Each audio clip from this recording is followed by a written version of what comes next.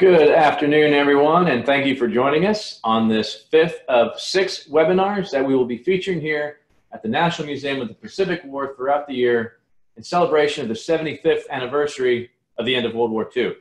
I'm Jeff Copsetta, and we have a plethora of folks that are joining us here today, an entire panel uh, that will be talking about the terrible end, the Battle of Okinawa, the final battle and the bloodiest battle in the Pacific during World War II.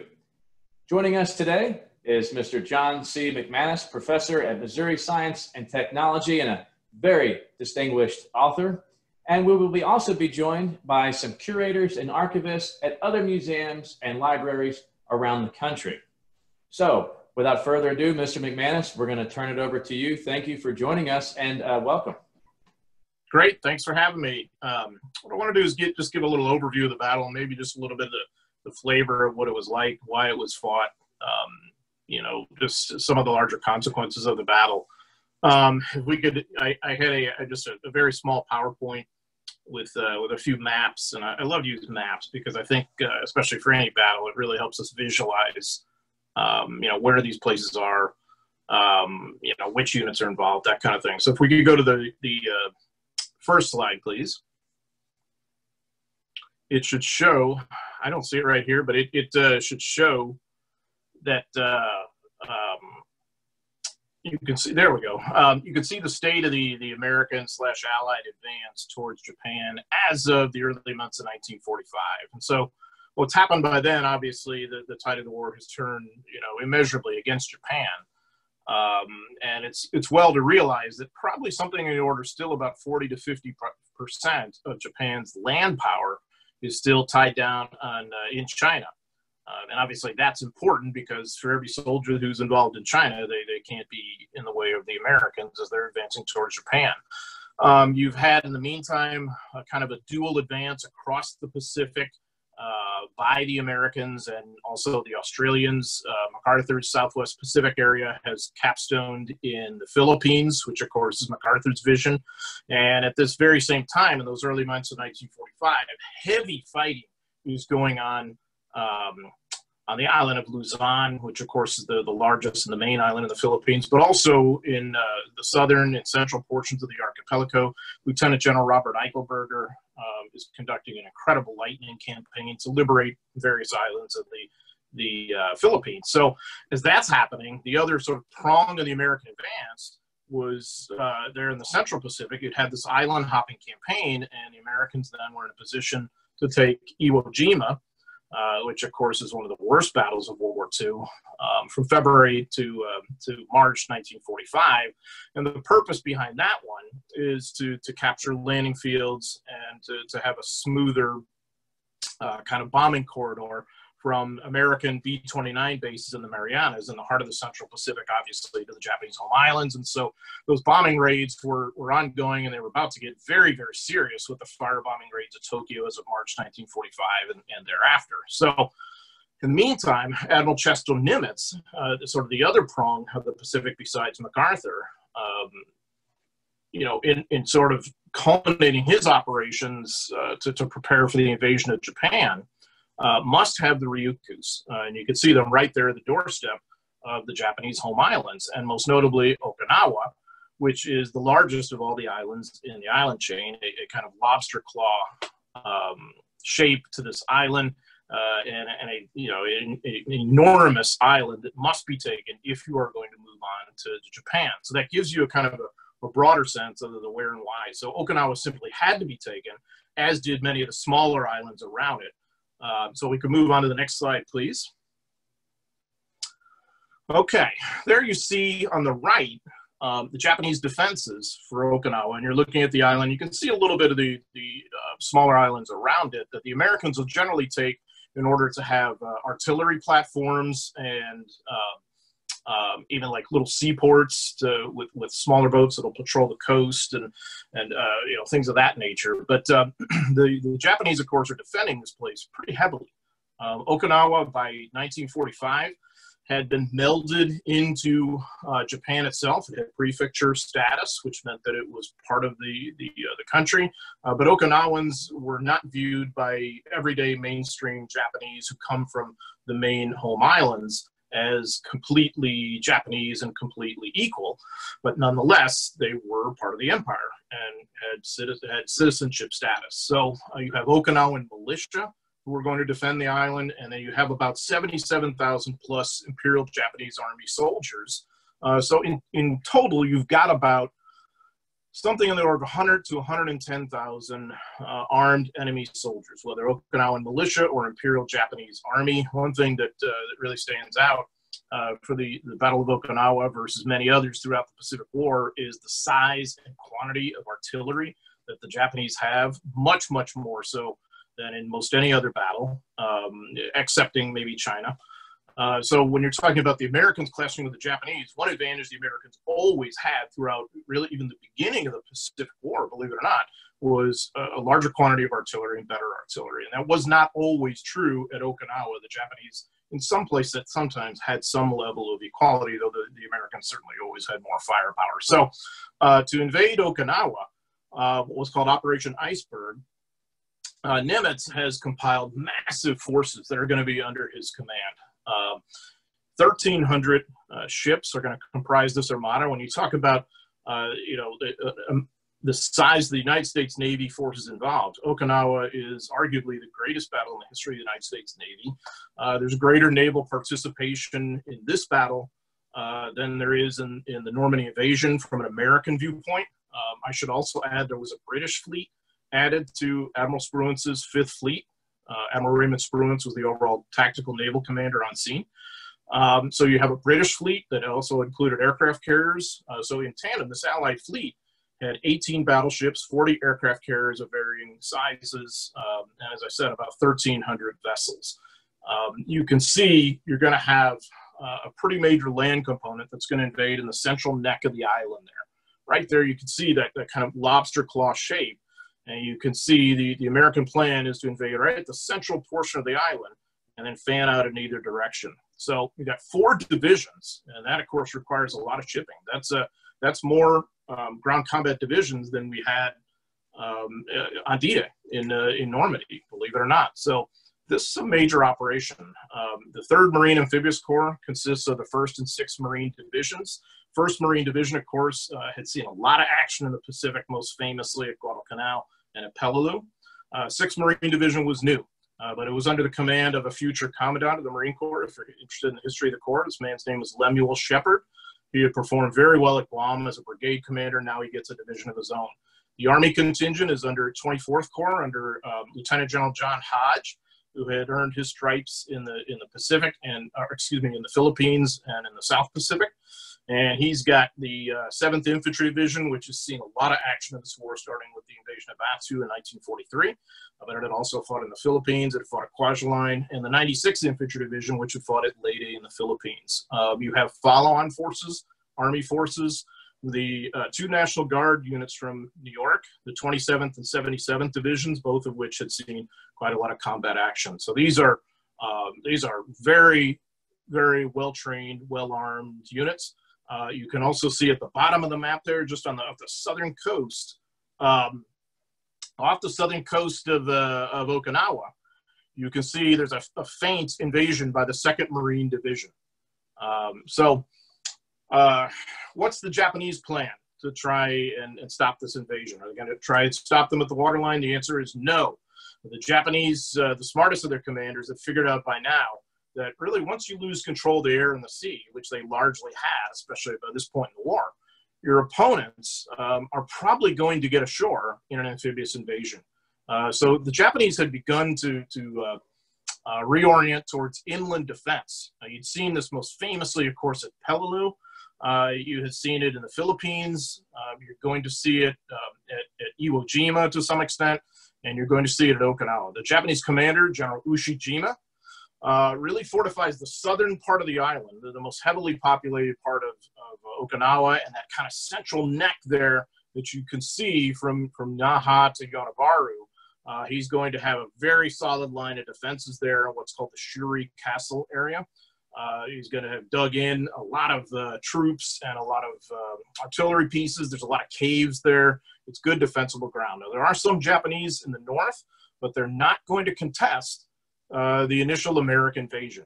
Um, so the invasion, what's known as L Day, is April 1st, 1945. Interesting thing about April 1st, it was, of course, April Fool's Day, but it was also Easter Sunday. Uh, so a lot of the, the troops who are about to go ashore are wondering what's going to prevail, um, faith or absurdity. And in some ways it was both because the invasion is largely unopposed, uh, even though there was a massive uh, uh, American pre-invasion bombardment. I should also point out that uh, um, the Americans had already invaded some of the smaller islands nearby. Uh, they had been raiding Okinawa for months. Um, so the American presence was not really new. Uh, but of course, this was the main invasion, quite obviously, on April 1st. And the other interesting thing, too, uh, General Ushijima and his staff uh, were at a vantage point where they could actually watch the American troops come ashore. And they're watching this through their, their field glasses. And one of the staffers uh, noticed that the, the Americans were chewing. A lot of the American troops were chewing as they came ashore. And he, he said to another staffer, he said, Why would they be eating when they come ashore? And the other guy looked at him and said, Have you ever heard of chewing gum? Uh, the, the, first guy had never heard of chewing gum, and he had no concept that American soldiers would be chewing gum as they came ashore. So they got ashore no problem. The two Marine divisions then moved north uh, against you know, they, they have some sharp fights here and there, but largely they clear out the island without the kind of opposition they expected. The two army divisions turn south uh, and make pretty good headway. They get across the island, cut it in two within uh, about four or five days or so. And then they turn south, and of course, when they really run into trouble, it's around the Shuri area where Ushijima has placed his main defenses. At the same time, too, the Imperial Navy is going to react to this invasion, and this is what makes Okinawa um, the deadliest battle in the history of the United States Navy, just by a little bit over Guadalcanal, um, and, and really in some ways the largest battle in the history of the United States Navy, and one that is a real point of crisis at times. Um, the Japanese are going to launch uh, suicide, um, basically suicide bombers. They're going to try that with ships. They're going to try that with uh, people riding torpedoes, but really the most successful is the kamikazes, the famous kamikazes. Were they new? No. Um, the Japanese had already done this in the Philippines uh, with varying levels of success, but it was, a, it was a terrifying and horrifying weapon. They had run out of planes um, in the Philippines with which to oppose MacArthur's uh, invasions from Luzon and after, but they had hoarded them just specifically to use at Okinawa. So all of a sudden, here come these waves of kamikazes at the United States fleet. Um, and I think it's, it's very important to study this because it's a cautionary tale and a little bit of a harbinger for the future of the, the horrifying and terrifying effectiveness of suicide bombers.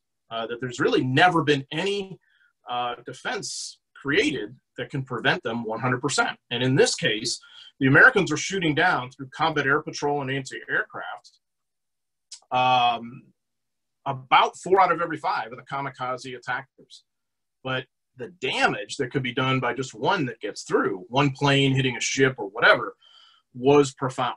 Um, the worst day of these attacks was April 7th, 19, excuse me, April 16th, 1945, when the Japanese managed to throw 900 kamikazes at the Allied fleet and they sank six ships that day. Um, overall, they're going to sink 36 ships. Mainly, mainly the kamikazes were what sank those ships. Uh, they're going to uh, inflict untold damage on many, many dozens of others. Um, eventually, you know, the Spruance is going to adjust. He noticed that the, the uh, kamikaze attacks are coming at dawn and at dusk, so he, he, steps up combat air patrol at that time. He moves destroyers out on radar picket duty, and that really was the most dangerous duty you could have as a sailor in the Battle of Okinawa to be on destroyer picket duty because the Japanese knew those were the early warning guys who were out there telling the rest of the fleet kamikazes were coming. Um, so they get attacked like you wouldn't believe. It's it's a just a horrendous experience for these guys. And of course, the Americans have plenty of their own carrier air and also some land-based air that are attacking the Japanese fields from which the, the kamikazes came in uh, mainly in Formosa and Kyushu. Um, the kamikaze pilots themselves were generally young uh, young men, some of them college students, and you know they weren't exactly eager to die, but this is what was expected of them. Uh, you know, in a kind of cultural peer pressure in a way. And it was the same thing on land too. Uh, as the battle steps up and gets worse on land, uh, the two army divisions, the uh, uh, the 7th and the 96th, run into horrendous opposition around Shuri. Um, the 1st Marine Division will join them, as will elements of the 6th Marine Division. By now, you're also going to ha- eventually have the 77th Division come ashore too. Um, you know, and so you end up with this kind of attrition struggle. And if so, if we could go to the the uh, the next slide, please. The uh, the problem, you know, is yeah. I mean, you can see just just look how crowded that is, and um, you know, look how incremental the advance is. I mean, it's become like trench style warfare. And so the, the thinking is, why don't we have an outflanking amphibious invasion? Why don't we hit in the, the, the, kind of southeast of the island there, right where you'd seen the Second Marine Division feint, uh, you know, and fake an invasion on uh, on L Day, April first, and perhaps unhinge the whole Shuri line that the Japanese have set up. Uh, and this is, of course, remains a controversy to this day whether the American commander, the 10th Army commander, which the two corps were subordinate, Lieutenant General Simon Bolivar Buckner, and by the way, he was a son of a Confederate general by the exact same name. Uh, Buckner considers the possibility of putting the 77th Division aboard some ships and send them in there. But he's concerned that they're going to be bracketed on the beach, that you have heavy Japanese artillery there that will uh, lead to serious problems for them and that you won't be able to supply them well. The 77th is under strength because it had to garrison other islands it had taken, most notably Ie Shima, where the famous war correspondent Ernie Pyle was killed, embedded with them. Um, the 77th commander was a really interesting guy. He was a guy named Andrew A.D. Bruce, and uh, he was really a kind of innovative and aggressive thinker. And as he had led the, the division in the Battle of Leyte, um, he himself, his division, had performed an outflanking amphibious invasion there in a place called Ormoc. And by the way, that was that was December 7, 1944, three years of the day after Pearl Harbor. Um, and at Ormoc, uh, you also see the first appearance of the kamikazes. Uh, so this was, you know, about five, six months before, and it worked like a like a charm. Uh, so Bruce thought it could work again here at Okinawa. Buckner considers it and rejects it about the third week of April. They consider it again in May, and by that time Hodge is on board with it, but uh, but Buckner is never on board, so it never happens. And instead, he'll feed the 77th into the line. He'll feed the whole uh, Marine contingent in the line, and eventually the 27th too, and just kind of bull his way straightforward into the Shuri line. And so in May, um, the rains come, massive rains come, uh, mud, trench warfare, cave warfare, uh, people living in the just it, you know with maggots and and uh, death and rot. Civilians are caught in the middle. The population of the island is about 400,000 plus. And the Okinawans are either militia or they're caught in the middle or they've taken shelter in burial caves that are also fighting positions. Uh, so the Americans don't know the difference. You have refugees moving along the road, and American aircraft are strafing them because they don't know if that's Japanese military or not. And the Japanese military sometimes intermix with them. The Japanese are using them as human shields. About 100,000 Okinawans are killed, mainly by U.S. firepower during this battle. It's one of many tragedies of the battle.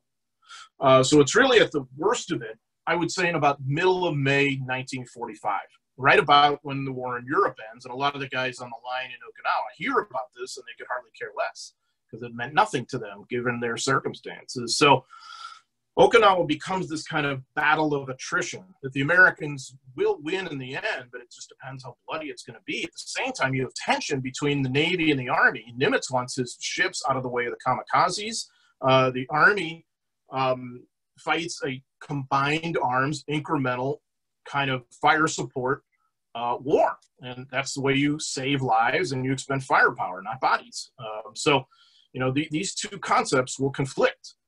Uh, but in a way, the battle sort of has to be fought this way when you look at the terrain, and Nimitz will come to agree with this too once he gets on the ground and sees what's going on at Okinawa. So um, the battle spills over into, into June, uh, but by then the Shuri line has been broken. Uh, Ushijima has withdrawn to that, that lower third of the, the island. Um, you know, where where his last defenses are prepared, and the Americans just kind of follow and just batter away at him. You know, one of the things that's unique about the, the Battle of Okinawa is both commanding generals are killed. Uh, Buckner is killed by a mortar shell on June 18th, 1945. Ushijima commits suicide four days later. Uh, interesting little thing about Ushijima's suicide. Um, the Americans, of course, were all the time hoping that Ushijima's headquarters and the garrison would surrender. And they gave a last surrender entreaty around the, the, middle of June or so. And Ushijima uh, showed that to his staff, and they all just kind of laughed. Uh, and, and by the, the, the, testimony of the survivors, because a few of his staffers did survive, um, the, the sort of mood of the laughter was like, you know, we fought these guys for three years and they still don't get it. Uh, that we don't surrender, we commit suicide when the end has come. Uh, so the, the battle kind of just staggers out to this bloody sort of coda, this sort of end by the third week of June after Ushijima's death. By then, uh, the Japanese have lost about 110,000 killed in action. That includes Okinawan militia.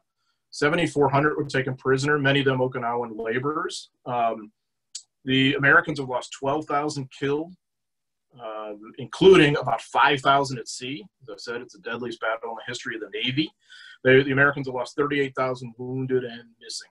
Uh, so it's been a, a, horrible, bloody battle and a kind of a preview of what invading Japan is going to be like in the view of many of the Americans, which is one of the things that, of course, leads um, to leads the, the idea of using the atomic bomb and using uh, air power to subdue Japan to be a more attractive ideal in the summer 1944. I should also say, too, um, that the Americans already begun firebombing. So in a way, they already crossed that Rubicon completely destroying Japanese cities. They just come up with a new weapon by August 1945. So Okinawa becomes, in, the view of many, this kind of preview of hell of what the invasion of Japan would be like. In retrospect, um, you know, it is the, the, terrible climax of World War II. Uh, but I think really one of the major legacies of it is to show the, the really terrifying effectiveness of suicide bombers, uh, even against naval assets. So I will show up there and turn it over to those who have some neat things to show you. And, uh, and again, be glad to take uh, questions later on.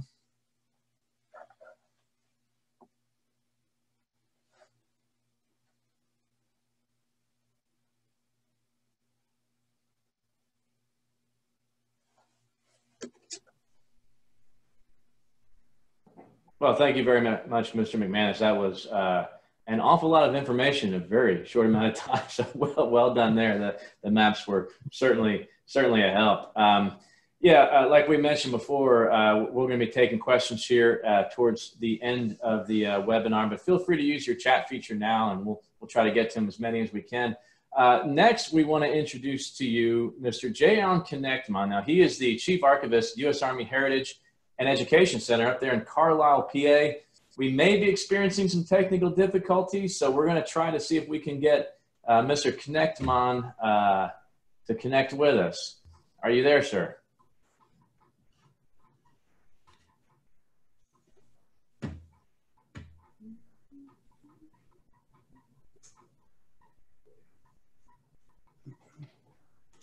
We'll give him just one more minute to see if we can uh, if we can speak with him up there in Carlisle. It's a little it's a little ways away from here.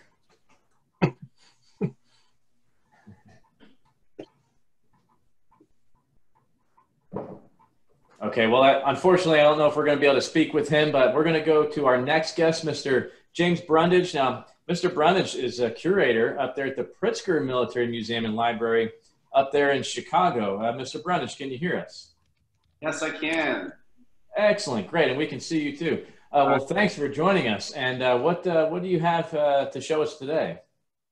Uh, thank you so much for having me, guys. And uh, today I'm going to show you a diary that we have that belonged to PFC Samuel Gewurz, who was an anti-aircraft gunner aboard USS Bunker Hill.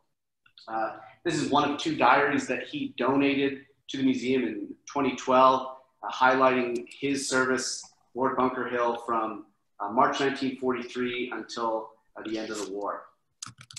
Um, and most notably, I'm going to talk a little bit about his experiences during the Battle of Okinawa. Um, PFC Gewurz joined the Marine Corps uh, in 1943 and uh, requested sea service, uh, was assigned to USS Bunker Hill after it returned uh, first, from its first tour in the Pacific, and would go on to document his actions and, and his role aboard Bunker Hill as a gunner with uh, Battery 1, Gun 7 which is on the starboard bow of Bunker Hill. And uh, he highlights um, the actions, uh, the role that he played uh, during the Marianas campaign, Peleliu, the Philippines, uh, the invasion of Iwo Jima, and then, of course, uh, during the Battle of Okinawa. Um, on Bell, uh, during the Battle of Okinawa, Bunker Hill not only participated offshore, helping the invasion fleet, as well as um, he mentioned sailing back and forth off the coast of Japan um, between uh, Ulithi and uh, Kyushu. Um, he mentions uh, the sorties flown by the air crews of the Bunker Hill, uh, talks about uh, shooting down Japanese uh, kamikazes, talks about the, the air crews up the Bunker Hill, bad landings, rescue operations that they had to undergo as well. Um, so it's a very complete diary. he goes into extreme detail about the events that he witnessed, um, but none more so than uh, the events of May 11, 1945. Uh, that's the day that uh, Bunker Hill was hit with uh, two kamikazes. And uh, he actually talks about it at 10.15 that morning. Uh, he and several other Marines were actually on the flight deck playing catch when they spotted the two Zeros approaching. They jumped for their gun, attempted to start firing. they weren't able to get off any shots before the first kamikaze dropped its 550 uh, pound bomb and then subsequently crashed. Uh, they were able to get off uh, shots uh, and hit the second kamikaze, though it also crashed into the Bunker Hill. Um, he talks about the devastation, the destruction of helping with the rescue operations of his fellow Marines, the fellow sailors aboard Bunker Hill. And later in the day, he actually mentions going down below uh, in an attempt to uh, retrieve some of his belongings as well as his fellow Marines. Uh, he talks about the darkness, pitch black, the smoke, uh, and by the time he is able to actually get into his berthing area, uh, he says everything is completely melted down. Um, and so he does mention the fact that he generally kept his diaries in his pocket. And so we're very fortunate that he actually um, had these on him uh, during that event and that um, we were able to have them today. Uh, I did want to just highlight a, a, passage from the end of his diary. Uh, May 11th would be his final entry uh, in the diary, uh, the day it was hit. And he mentions, uh, I'll bring this book, which was in my pocket the entire day, to a close. Though the story of the Bunker Hill is not over, for she'll return someday to battle fixed up and with a refilled crew. I feel it fitting to bring the story of the ship to a close now because her challenging, proud spirit is dead. Not permanently dead, perhaps, but I don't think she'll ever bear men as enthusiastic as those who raised her from a child, as to speak, and those who brought her her fame and her excellent battle record. Um, so this is just a really intimate first-person look uh, into the Battle of Okinawa from the naval perspective and uh, uniquely from a Marine stationed aboard Bunker Hill. Absolutely. Thank you, Mr. Brundage. Yeah, that was uh, really corresponds well with uh, what Mr. McManus was saying, of course, with those famous kamikaze attacks. And yeah, what, what an artifact to have from the USS Bunker Hill. That, that is really outstanding. Um, we, we are getting a few questions coming in. If you could bear with us for a few more minutes, we do have a few other guests that we'd like to get to uh, before we turn it over. Um, right now, I'd like to introduce uh, two curators uh, with the Cushing Library at Texas A&M, which is uh, Mr. Anton Duplessis and Ms. Sierra Laddusaw. Folks, uh, thanks for joining us from Aggieland right down the road. Thank you for, for asking, and we're delighted to share. Great, great. Okay, if I could get screen sharing so that Sarah and I can tag team, that'd be awesome. Okay, yeah, sure. Give us just a minute here.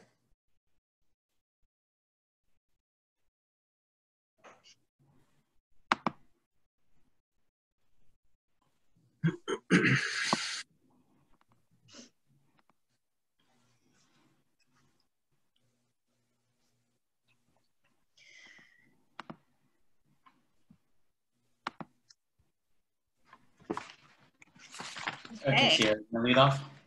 Yes. Um, so I'll start with the traditional Aggieland greeting of howdy. Um, and Anton and I are going to talk a little bit about a large collection that we've recently acquired, uh, um, international edition of news maps at Cushing Library. These are all a part of our Reagan military collection. Um, and so I've joined as the map curator, and Anton is actually the curator for the Reagan military collection.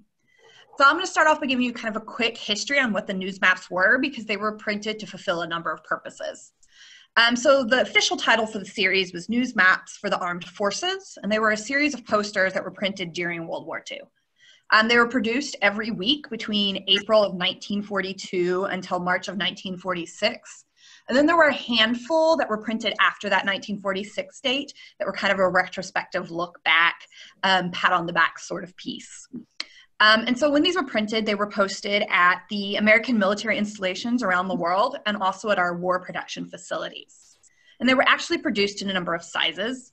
The one you'll find most commonly were the poster size that was printed um, for the US military bases and production facilities. Um, and these were actually the ones that were also distributed through the Federal Library Depository Program into library collections around the United States. And so these are at that larger size of what you would expect if you were to go to buy any sort of poster. Um, a smaller size was also produced, um, and these are the international editions. And as far as I'm aware, these international editions were not largely distributed through the FDLP uh, program. So if a library has them, they've acquired them through a different way. And these international editions, when they were printed, resembled and reused the content from the US editions, but they were not a direct reprinting and they were also printed at a much smaller size.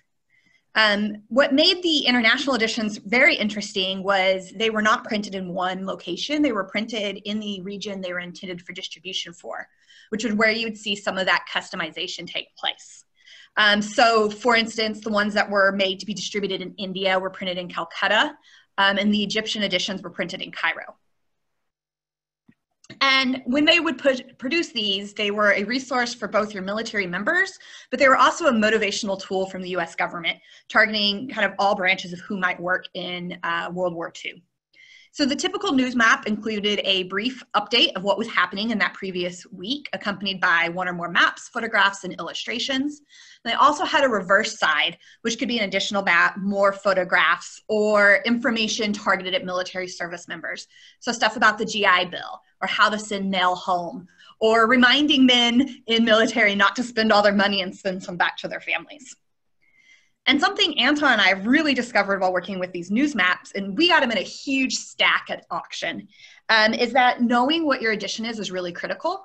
Um, because these overseas editions are um, not quite as common as what we find in the US editions. In cataloging them, it makes a really interesting issue because the volume and issue numbers vary wildly. Um, and so what we have found in the collection we've acquired is that we have maps that were printed in Italy, the Africa Middle East uh, section, Panama, the Middle Pacific, China, Burma, India, and in the Persian Gulf Command. And so now I'll turn it over to Anton to actually talk about our specific maps that we've so far uncovered in processing the collection that deal with Okinawa. Thank you. So we've got three maps that we're going to highlight today, um, and they give some, some snapshots, if you will, of uh, the invasion and the progress on the, during the battle. And uh, we begin off with the May 7, 1945 edition from Panama. And this one's interesting because it gives us volume three, but there's no number on it. And so trying to find who else may have this is very interesting because it's sort of incomplete. Uh, this piece is titled Germany Nears Collapse, but there's a progress in Pacific, which is down on this little left-hand side there. And the poll quote here is the 96th Infantry Division progressed to within 800 yards of Shuri, Okinawa's former capital, et cetera, et cetera. You know, you're getting a good sense here for who's involved and what the action is. Notice, of course, it's May 7th. This battle has been going since April 1st. And this is essentially a week lag between production and the event. There's a inset here, and uh, what we've got is um, Okinawa battle rages, and there's a poll quote here about the plans of the U.S. Pacific Fleet continuing. And one of the things very interesting is, and I try to blow it up a little bit, so forgive the lack of clarity, is that you can very clearly see that line here um, that was referred to earlier by Dr. McManus about um, between Naha, Shuri, and Yonabaru. Um, it's clear that the American forces, the Marines, have taken the Northern Island and that this area right here is a source of resistance to the capture of the island. We're going to jump ahead to the next map, June 11th. This is the overseas edition, and Pacific Action Flares. And so I've reprinted essentially with a whole little text block there, and it's focusing on a couple of the locations um, of action or destination in the case of Tokyo. And in the case of Okinawa, again, we're seeing this battle line here of the Shuri defense, if you will, letting us know um, what's going on. So here we are a month later, and there's barely any progress. Although you can see um, on the blow up right here on the left side that the conical Hill has been taken. And so that line has been pushed past Yonabaru, allowing for that East Coast corridor that becomes very important to the um, taking of the island. At this time, we also know that um, the Marines are, start, are starting to really enter into Naha and then um, the uh, July 3rd edition, this is from the Italian front, if you will, the Italian edition. And this piece called the Okinawa Campaign. And there's a huge amount of text here. And uh, they give a good description here. I'm going to move on with a couple of other piece uh, blobs of these materials. But interestingly, it shows the campaign badges or the insignia for the constituents of the 10th Army. Um, but given the role of the Navy, it's sort of in a way, the Navy was a little bit slighted, I guess, in that respect.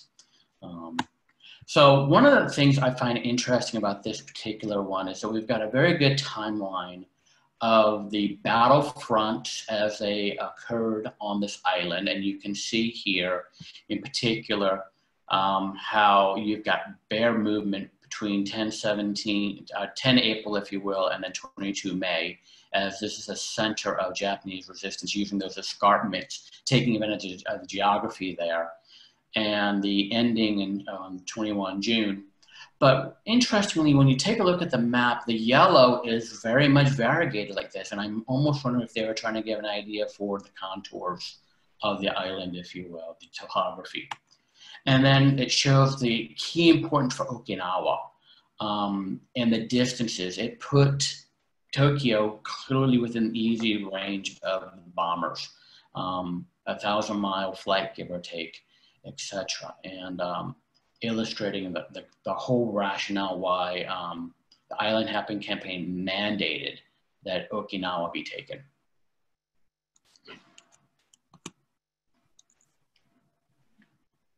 And so, as I said at the start, these are items we've recently acquired. And we do intend at some point in the future to have these digitized and available online.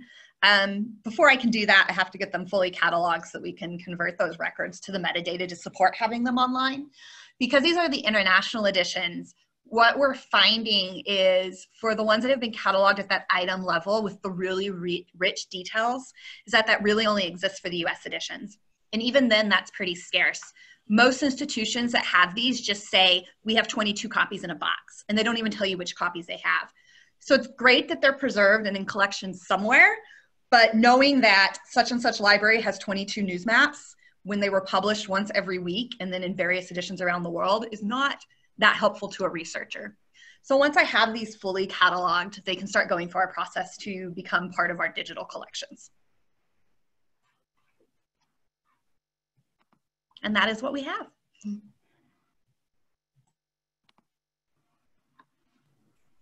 Excellent. Thank you very much, uh, Mr. Duplessis and Ms. Laddusaw. Uh, we've got uh, one more archivist joining us, and it's none other than my colleague here at the National Museum of the Pacific War, uh, Mr. Chris McDougall. Uh, Chris, are you there? And what do you have to show for us today?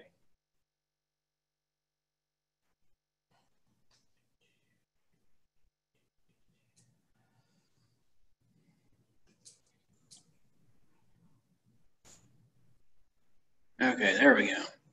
Can you hear me? Yes, sir. Okay. Um, today I have a really unique uh, document that uh, came to our uh, archives in 2004. Uh, it was donated by a uh, retired Army general in San, San Antonio. Uh, this is, if you go back one slide, couple slides, um, this is the tentative operations plan for Operation Iceberg. Um, and this particular copy, uh, in a couple locations here on the cover, um, it indicates that uh, belonged to the chief of staff. Uh, in the upper right, uh, there's the C and the S, and then very faintly below the the uh, uh, operations plan, um, it, it's in pencil. It says uh, chief of staff. Um, the next several slides, next six slides, I'm just showing some uh, samples from the interior. Um, as the title indicates, uh, this was a living document of sorts uh, that laid out in detail all aspects of the operation and its moving parts.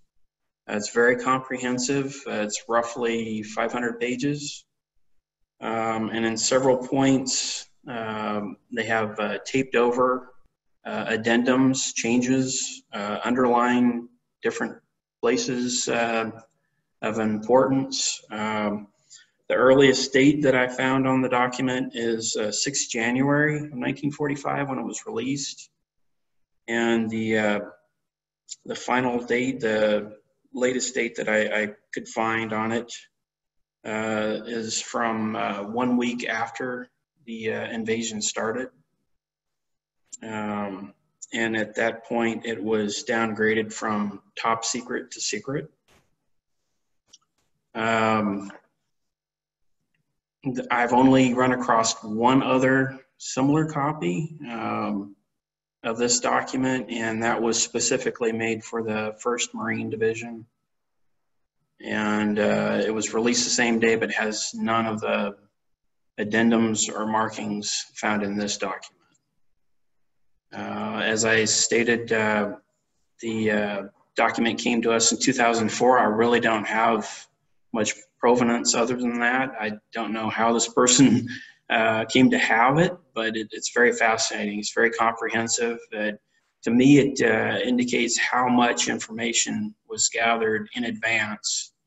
And uh, considering the, the 10th Army was both Marine and Army, um, how large that force was um, in the invasion.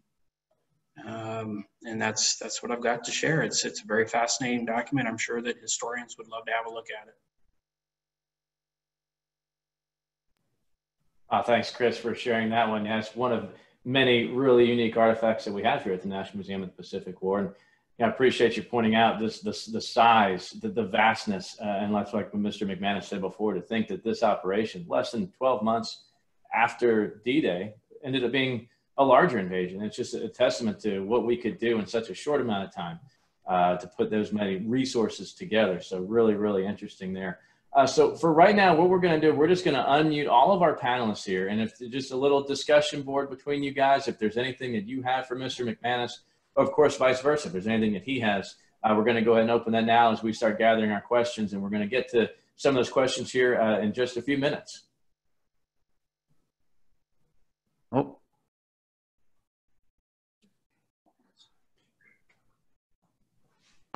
Mr. McManus is still muted. There we go. This pertains what Chris just showed us. Um, the chief of staff of the 10th Army was a brigadier general named E.D. Post. And so his job is basically to be the mastermind and clearinghouse for just reams of plans that he's getting from the operations section uh, from the various divisions and, and, corps levels that were under 10th Army at that point in time. So uh, it's really interesting to me to hear that um, his version of the plan was evolving, and that, that makes total sense. He and Buckner would have been intimately um, discussing every element of that plan as you got close to L Day, and then sort of comparing what they had planned versus how it was unfolding. Chris had mentioned, I guess the last day was April 7th, if I remember correctly. Yes. Um, you know, again, he would have seen, okay, how's the plan evolving and what does that mean for what we're going to do next? Uh, Post and Buckner had a, had a, very solid relationship as a commander and chief of staff really must. Um, and so you can imagine how devastated Post was when when uh, Buckner was killed on June 18th. I believe he was there um, in a group of officers with him, but I'm not certain about that.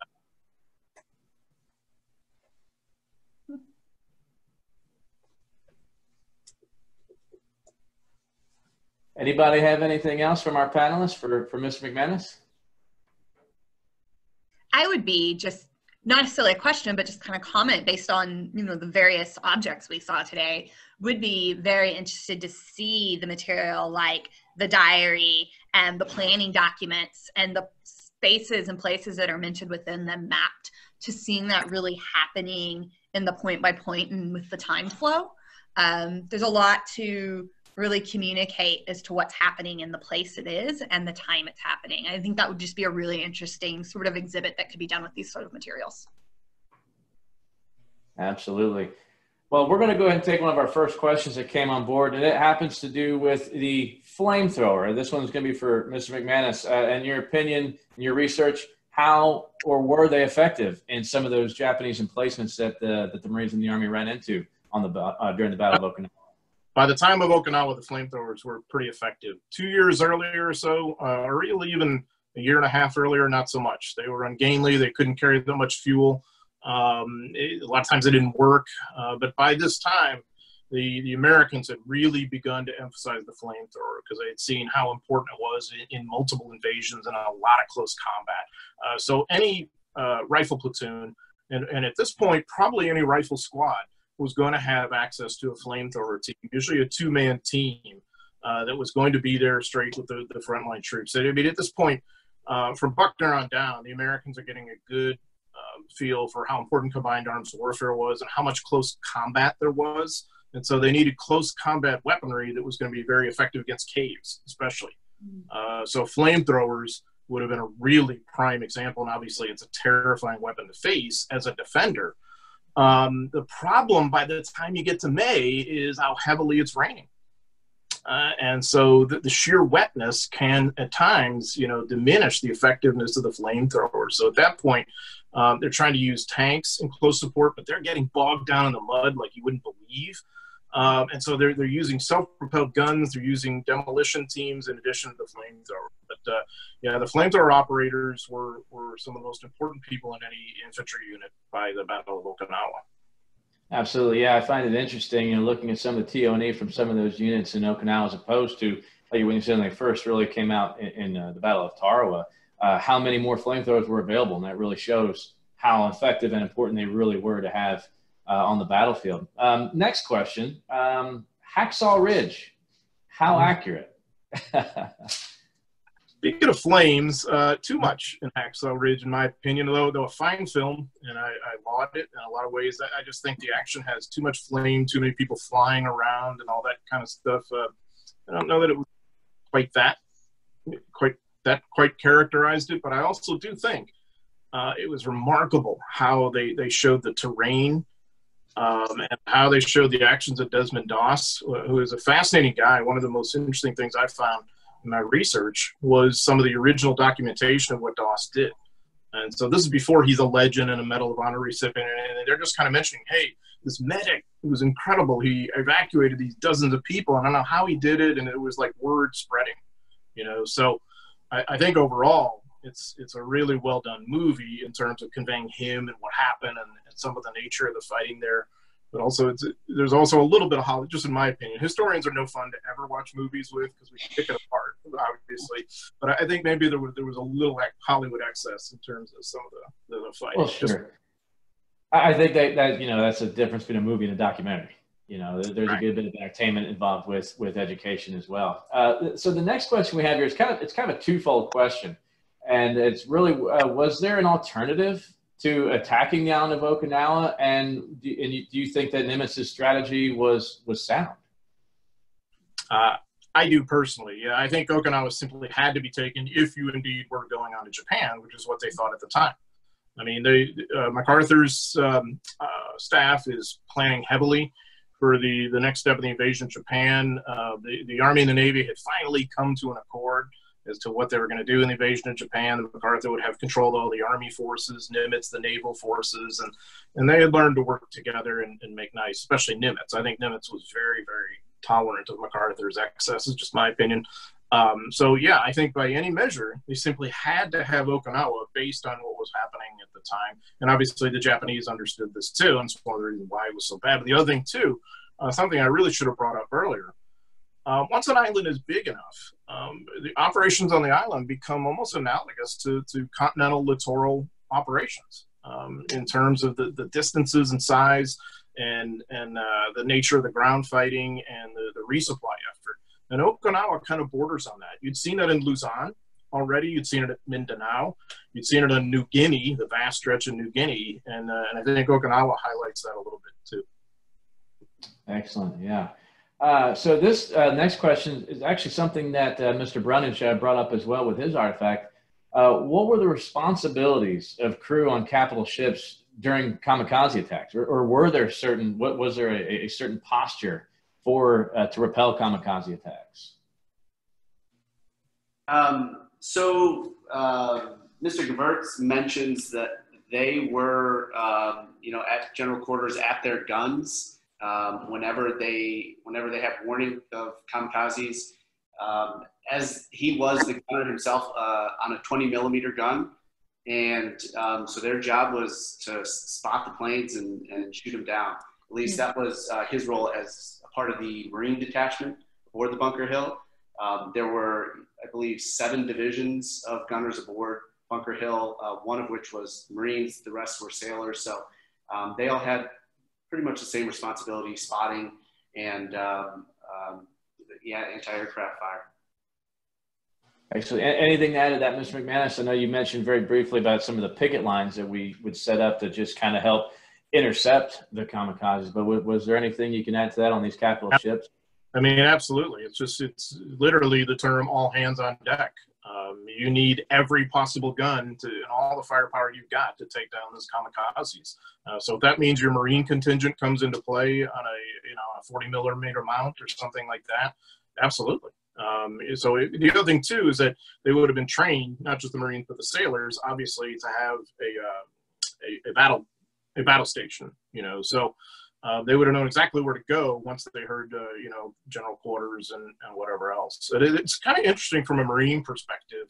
It's so the, the service aboard Bunker Hill would have been so dramatically different than if you were with the first or sixth Marine Division ashore, uh, but maybe no less dangerous and, and just just so frightening. Uh, the randomness of whether the, the kamikaze is going to hit your ship or not, what you could or couldn't do about it was very difficult for people to cope with that. Absolutely. Yeah, it was quite an effective weapon. Um, how good uh, was U.S. intelligence on the Japanese deployment and strength on the island? Uh, you know, intelligence is everything on the battlefield. On Okinawa, how, how well uh, informed were we? It's uh, it's kind of amazing to me as as much intel as we've got at our disposal at this point in time uh, that we still don't quite get that that Ushijima does not intend to defend at or near the beaches and waterline. Uh, that that to me is the big intel misunderstanding, but I don't know that it really made a difference either way, except in how much ordnance they're throwing out there, you know, to to pave the way for the invasion on L Day. Um, they don't. I don't think they have as strong an appreciation of the the Shuri defense line as maybe they might have. But I also think, what if they knew every nook and cranny? You, you know, you still had to go in and take it the way they they ended up having to do. So I don't think the intelligence was really quite what it should have been, but um, but I don't know they really had all that material uh, an effect on the battle. Just just my view. Outstanding. We looks like we have time for a few more. Uh, next one coming in is uh, let's see what we got here. Uh, how long were the USA plans to invade Japan by the time of Okinawa?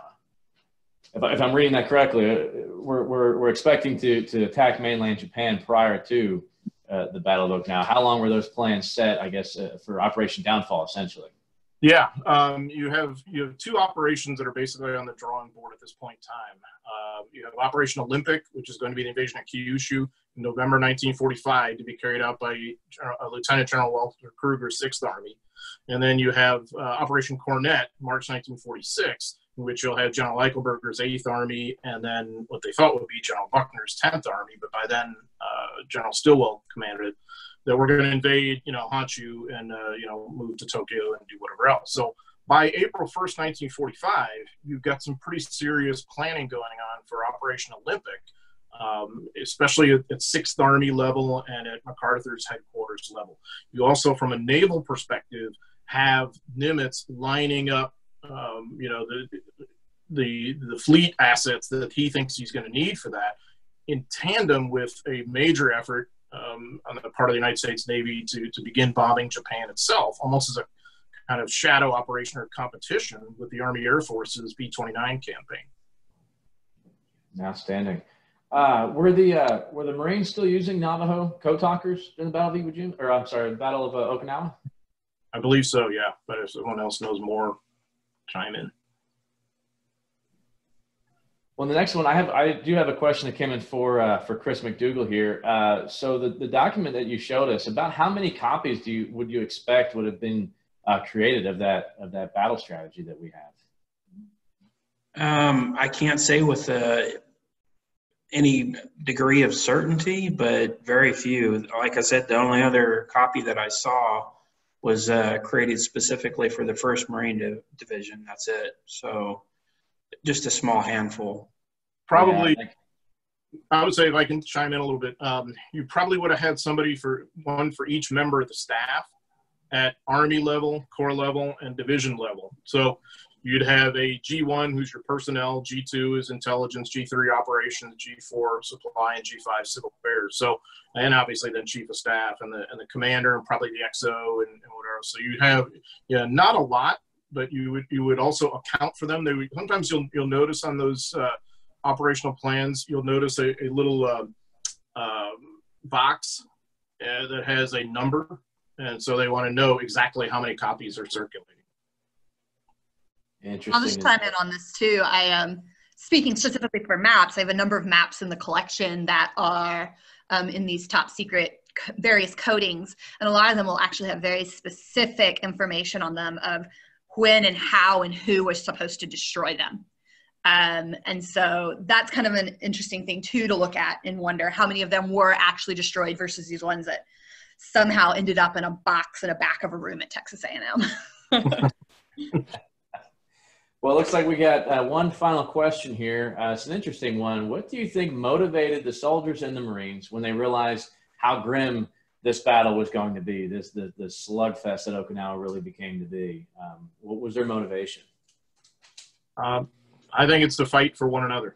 Um, I think that, uh, you know, mom and apple pie and all that goes out the door once we're all in the mud together and we're living with rats and maggots. And once uh, our infantry unit has absorbed 100 to 150% casualties and it seems hopeless, um, you know, I'm going to do it because you're going to do it. And that's it.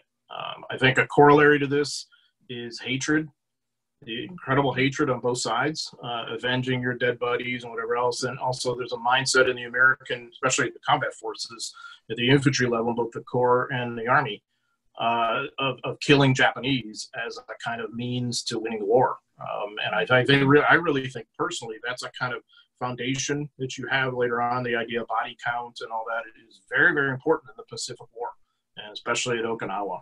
Uh, so I, I think that, just my opinion, I think that's a big part of motivation. Yeah, absolutely. I think fighting for the guy next to you is is it's key to success on any battlefield. You're absolutely right, sir. Uh, well, like I said, I think that's going to wrap it up for today's webinar. Again, a big thank you from all of us here at the National Museum of the Pacific War for all of our panelists who are with us today, and of course, all of you who are participating. Uh, thank you for your time. And I want to remind you that to our next and final webinar in this webinar series uh, here at the National Museum of Pacific War will take place about a month from now on July 15th at 1 p.m. Central Time. And we're going to have Miss Rona Simmons here. She's going to talk about the other veterans of World War II, the stories from behind the front lines. So again, thank you again, and we will see you next time.